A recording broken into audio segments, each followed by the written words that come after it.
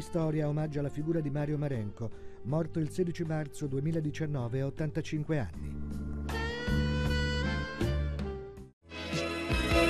Un Mario Marenco che pochi ricordano. Nel 1984 interpreta per la miniserie Rai diretta da Dino Risi e La vita continua lo strampalato Arturo De Marchi, aspirante scrittore fallito. Ma, ma Arturo, ma è bellissimo. C'è uno stile, una forza. Eh, sono contento che ti piaccia. Io non sapevo che scrivessi così bene. Sai, in prigionia si imparano tante di quelle cose è un romanzo vero e, e, i personaggi sono belli, pieni di contrasti. E come va a finire, eh? Vedrai, vedrai. Abbi pazienza, Giulia. eh, questo deve essere Fasoli. Uh, Giulia. Eh? Ehi, guarda di non dire niente a nessuno di questa faccenda, eh? Lui che fu provinato da Fellini per La città delle donne, colpito dai suoi surreali personaggi televisivi, diede prova di saper fare anche l'attore nelle mani di un maestro della commedia come Dino Risi. 20 settembre 1958, una data che rimarrà storica tra quelle della imbecillità umana. Non stai esagerando, zio Arturo. Beh, non è poi un avvenimento così grave. I giovani ormai le trovano da soli, le ragazze. Ah, e tu credi che sia la stessa cosa? Ma queste case erano tutto per me. Sogno, tenerezza, calore umano. Tu non sai il nodo che mi saliva alla gola tutte le volte che prendevo il tram per venire qua. Ecco, io entro per dare il mio addio e tu vieni con me. Ma no, zio, dai, lascia perdere. Vieni, vieni, Aldo, rimpiangeresti di non poterlo raccontare ai tuoi figli. Buongiorno, signora Maria. Foggiano, come l'amico e sodale Renzo Arbore, nasce il 9 settembre del 1933 e si laurea in architettura nel 1957 all'Università di Napoli, ottenendo borse di ricerca a Stoccolma e Chicago raggiunge il successo nel 1970 con la trasmissione radiofonica di culto Alto Gradimento, con cui inizia un lungo sodalizio con Renzo Arbore e Gianni Boncompagni. Buoni, buoni, buoni. Guardate che questa è una figuraccia tremenda. Siamo davanti alle telecamere di Radio 1. Ignoriamo, Va bene ignoriamo. che Alto Gradimento fu una trasmissione, come direbbe Minà, trasgressiva. Però mi pare che siete troppo trasgressivi, Sì. certo. eh. Noi avevamo- vogliamo soltanto ricordare alcuni Sì. dei personaggi. Quindi dietro le quinte noi Marenco. dovevamo, dovevamo, diciamo che dovevamo tenerci alto il morale e facevamo così praticamente, Sì, come state Marenco, vedendo. Per tenere architetto- alto il morale, riuscire a essere sempre pimpanti, malgrado gli inevitabili guai della nostra vita personale, amo... Questo è il suo sketch preferito. Il- il- una specie di lamento, com'è? No, no, dobbiamo dire che lui fa da anni uno- una, una trovata, una cosa, una cretinata che si chiama la eh, calcolatrice Umana. che non fa ridere nessuno. Mai. Da anni ci propone questa calcolatrice umana. Dico, e ma diciamo, facciamo Marenco, non qualche fa cosa di ridere. nuovo. Lui fa Non la fa ridere. calcolatrice umana. Dice, ma questa è fantastica. Noi diciamo, non fa ridere. Infatti non ridiamo. no. Adesso questa sera si la fai, però non fa ridere nessuno. Vedrai, non riderà nessuno. Questa È proprio un regalo che ti No, facciamo, magari. Guarda, ma non fa ridere. Silenzio. Ah, Non fa ridere. Non è che... Aparonata, oh, aparonata, oh, sa- oh, no, la, te- Vedi, non fa questo Santa Flores perché è un pazzo.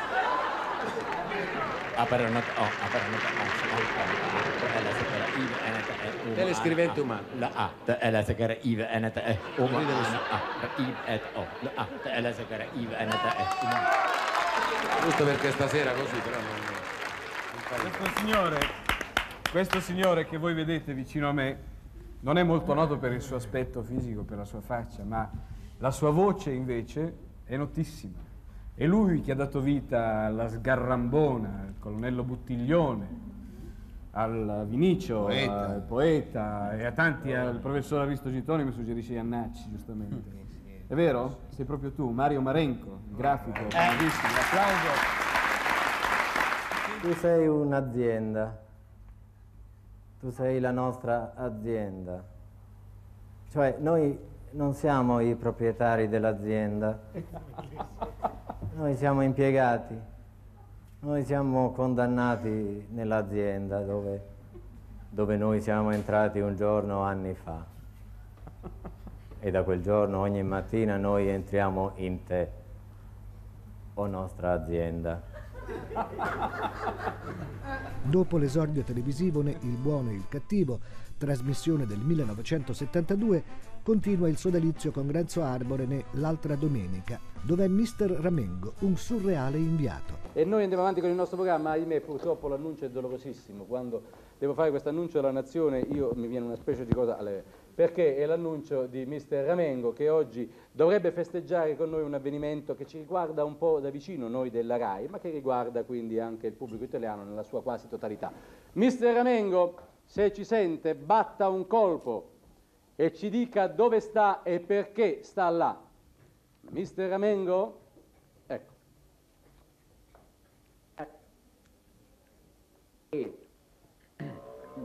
Ecco Mister Ramengo che vediamo inquadrato. Sta, ah, caro Mister Ramengo, sta facendo il solito allenamento col participio passato, mi sembra. Atto. Siamo di fronte al palazzone della RAI. Perché siamo di fronte al palazzone della RAI? Per rimirare l'enorme deretano No. stonante. No, assolutamente no.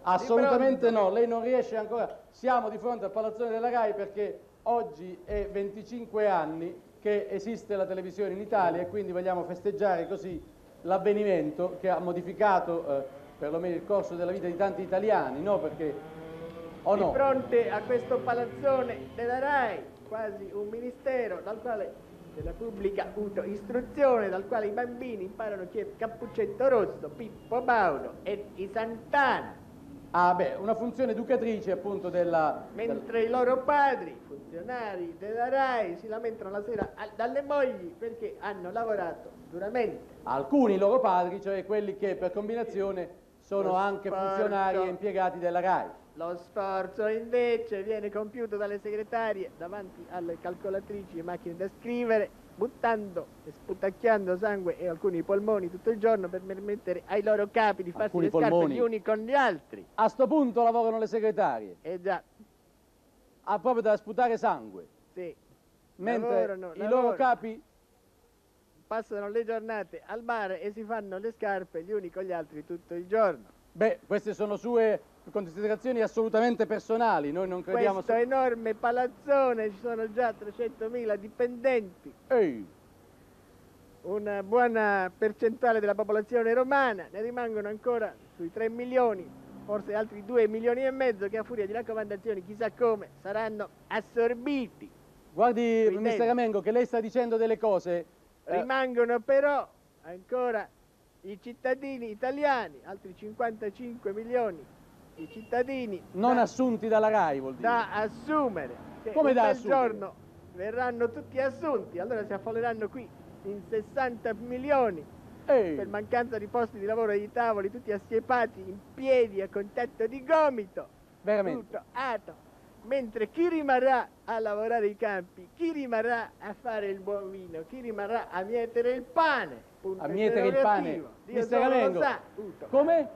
Dio solo lo sa Eh, mentre qui dentro visto che non arriveranno più derrate nei generi alimentari perché nessuno coltiva più i campi la gente comincerà a morire come mosche ma questa è una... È una... questo enorme eccidio rimarranno forse in alcune centinaia di superstiti che, accortisi dell'inedia, dovranno correre di corsa nei campi a coltivarli per produrre il cibo per il loro sostentamento. Noi ci sembra una visione assolutamente apocalittica, cioè questa RAI dipinta come un'enorme piovra che assorbirà a poco a poco tutta la popolazione italiana fino a farla scomparire. Nel 1960 apre un atelier di architettura e design, lo studio DEGW.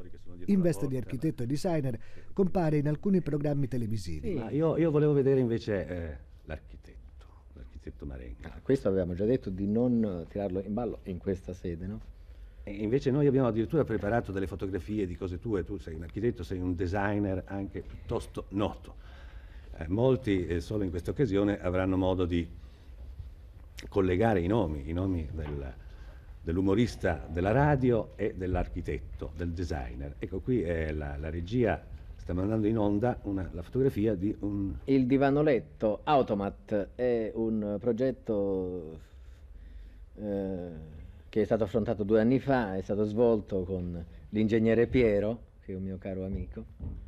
Eh, ci abbiamo battuto la testa per due anni e abbiamo tirato fuori questo che appartiene alla famiglia dei convertibili, cioè le cose che, come le chiamano gli americani. eh, abbiamo ancora delle altre fotografie di oggetti inventati da te? O no? Ecco, qui tu hai appoggiato prima qualche cosa che io ho provato a capire che cosa fosse. Ho tentato, ma non ci sono Eh beh, quello è un riuscito. giocattolo. Ah, ecco, eh, però... Potrei farlo in grande e sarebbe una, una Beh, scultura. Me lo, me lo puoi spiegare un po'? Io non ho, ho capito bene. Ma io un tempo giocavo a scacchi e allora, allora, eh, ho cominciato a pensare di fare una scacchiera compatta e, e allora la scacchiera compatta eh, è compatta quando è come prima, ma non è compatta, cioè, cioè diventa di- distesa e ci si può giocare a scacchi quando è così, no? Poi se si piega tutto, tutto quanto eh, diventa il solito vecchio caro cubo che eh, i cubisti, eccetera, no? Veramente divertente, eh, io lo trovo divertentissimo.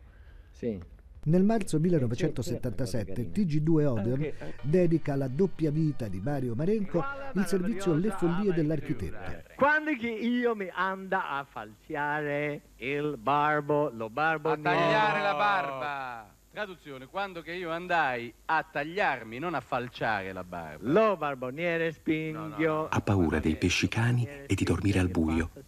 Socio Aci. Da vent'anni lavora al progetto di una nuova racchetta da tennis. Qui c'è il problema, non rientriamo nello standard di 9 metri quadrati abitanti. E vabbè, cioè ci può bisogna reperire più spazio. Sì, Ma assolutamente. uno, due, tre, quattro lampioni si tolgono. L'asta della bandiera si toglie. I pali della rete di pallavolo si tolgono. Poi, cinema no. Ah no, questo sta dall'altra parte della strada. No, il cinema sì, non è che viene costruito, è solamente la scritta rimane. I negozi? Vabbè, questi sono i negozi nostri.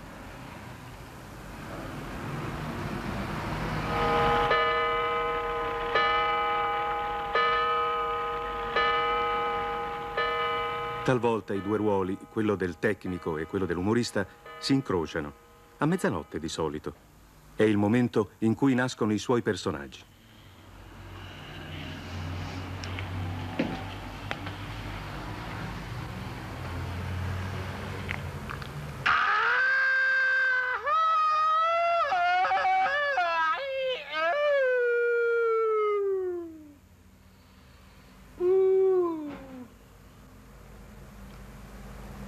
Urlo dello sciacallo triste.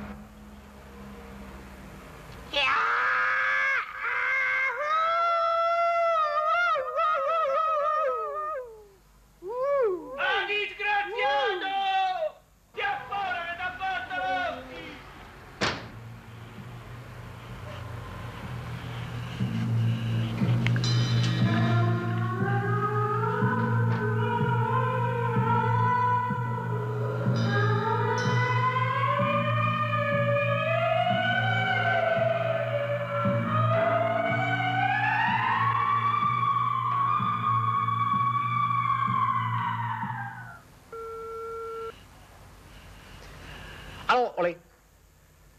Allo. Pronto? Qui è, qui è. Carlo Cicerchia, chi parla? Oh, ¿Cómo se llama? Cicerchia, chi Sí, parla? se le puede de Chicherquia. Es necesario que usted me ayude con mi base espacial, chi le- desgraciado. Ma lei chi è? Esto es el, el, es el velíbulo espacial cápsula Paloma spa- Secundo. Paloma Oh. Seconda.